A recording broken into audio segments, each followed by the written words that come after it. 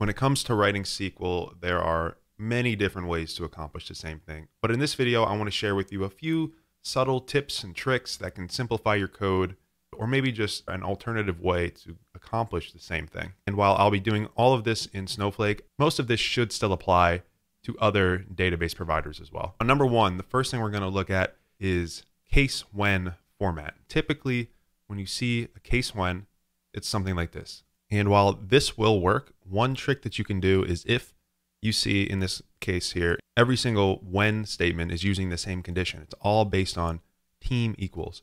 A way we can simplify this is by doing something like this. We can say in the top case, team, and then when Bulls, when Lakers, when Heat. Essentially, we've removed that team equals for each of these. If we look at them right next to each other, again, instead of doing it each time here, we just do it once here, and the result is the same. If we look down here, Bulls, Chicago, now we run this one, Bulls, Chicago, same output. It works the same. It's just maybe a little bit more elegant of a way to write it. Next is going to be using a Boolean versus a case when statement. This is kind of similar to the last one we looked at, but one thing that I've certainly done in the past and that I think a lot of people will do is if you know something is either true or false, you'll create it as a case when statement.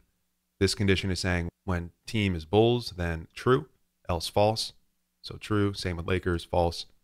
And again, this works. There's nothing inherently wrong with this, but you could accomplish this same thing without the case when statements. You could simplify what you're writing. If we take a look at this option here, instead of case when, if, if we know it's just a true or false, you could say team equals whatever you want it to equal, team equals the other option, and it's either going to return a true or false for that statement. So again, here we have true, false. Run this, true, false. Just a maybe more simple way to write this without the case when. The third one here is referencing the same column. And this is one where it might be specific to cloud SQL providers. I'm not sure if you can do this on SQL Server or Postgres or anything like that. Just want to call that out. This example is when you get a little bit more complex logic. And what I've done here is we have one case statement. We're determining the most famous shooting guard. And now let's say we want to nest that condition in another one. I've seen this a lot where people will just copy and paste that logic so that it matches exactly what we had before, but you need to do something else on top of it. In this case here, we're adding a new column called has most rings. And essentially we're saying when the result of this case is Michael Jordan, then true, otherwise false. And again, this this works, but it seems redundant. And then we talk a lot about DRY, meaning don't repeat yourself. And when you see something like this, we're clearly repeating ourselves. So there has to be a better way to do this. And the way that you can do this, at least on Snowflake, is to just reference the name of another column, or in this, in this case, the column where we're already doing that logic. So here, if we look at this, we have this column called most famous SG.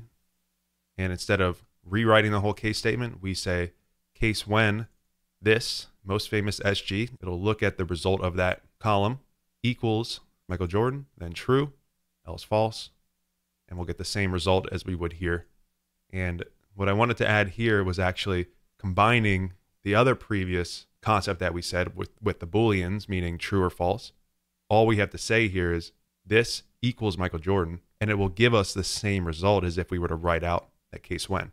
So we, we can go something like this to one line just by understanding how it works. So let's take a look here, get the same result.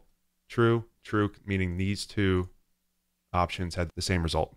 Just a more simplified way of writing it and using the inherent abilities of Snowflake and some of these SQL engines to give you what you want.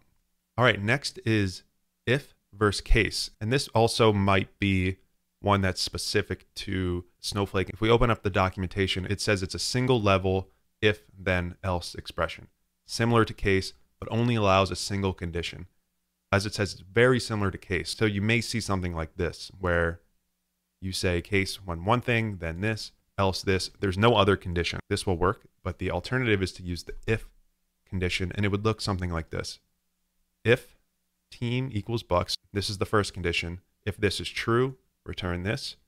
Otherwise, return this. Let's see, maybe next year, maybe next year, same result, and it works. Again, only if you have an either or type of option. The last one here is not necessarily trick or another way to do something. It's more of just a general piece of advice. And that is being inconsistent with your code in terms of uppercase, lowercase, spacing. At the end of the day, you want everything to look clean. You want what you provide and share with your colleagues or that you're deploying as production code to, look good. You don't want it to look sloppy uh, in any sense. So when I look at something like this, we can see some of these keywords are uppercase, some are starting with a capital T. Spacing is different. You know, we have different lines. Some of the, the column name here is uppercase, this is lowercase.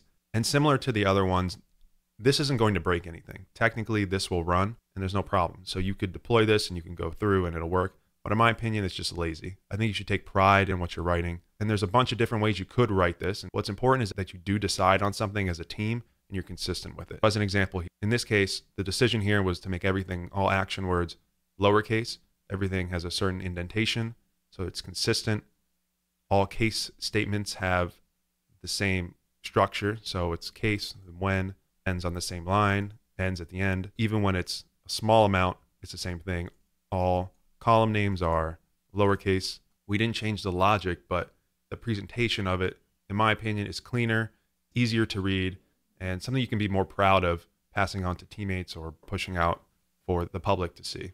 So that'll do it for this video. Just a couple tips and tricks on how you can improve your SQL. Thanks for watching.